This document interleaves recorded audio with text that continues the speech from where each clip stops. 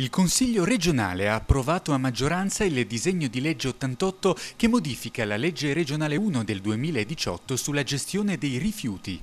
Il provvedimento introduce un obiettivo di produzione di rifiuto urbano indifferenziato non superiore a 126 kg anno ad abitante da raggiungere entro il 2025. Fa eccezione la città di Torino, il cui obiettivo, pari a un rifiuto indifferenziato non superiore a 159 kg ad abitante, è fissato entro il 2024. Per l'organizzazione del servizio di gestione integrata dei rifiuti urbani è individuato un unico ambito territoriale ottimale regionale articolato in subambiti di area vasta, la cui governance è esercitata da consorzi di comuni denominati consorzi di area vasta. Viene eliminata l'obbligatorietà di accorpamento dei consorzi esistenti nel medesimo territorio provinciale. Si prevede poi una modifica al sistema di applicazione delle sanzioni per il mancato raggiungimento dell'obiettivo di riduzione dei rifiuti prodotti indifferenziati.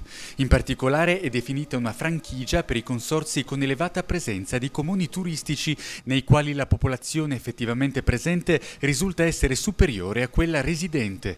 Relatore di maggioranza del provvedimento il consigliere della Lega Matteo Gagliasso. Un DDL importante a livello di rifiuti, ma soprattutto a livello di concentrazione con il territorio. Sicuramente abbiamo dato una possibilità a questi consorzi, specialmente delle aree più vaste, di poter finalmente procedere all'attuazione di questa legge.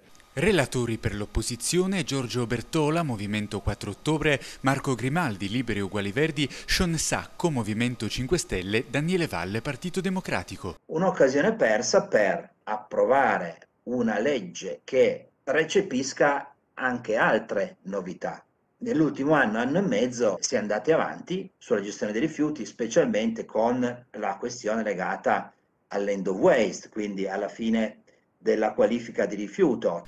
Al termine della discussione l'Aula ha anche approvato all'unanimità un ordine del giorno collegato, primo firmatario Carlo Riva Vercellotti, Forza Italia, ma sottoscritto oltre che da Paolo Ruzzola e Alessandra Biletta, Forza Italia, anche da alcuni consiglieri delle opposizioni, Sean Sacco, Sara Di Sabato, Ivano Martinetti, Giorgio Bertola, per la tutela della risorsa idrica. L'atto di indirizzo impegna la Giunta a definire entro 120 giorni dall'approvazione del disegno di legge 88 i criteri per l'individuazione da parte delle province e della città metropolitana delle zone idonee alla localizzazione di impianti di smaltimento e recupero dei rifiuti.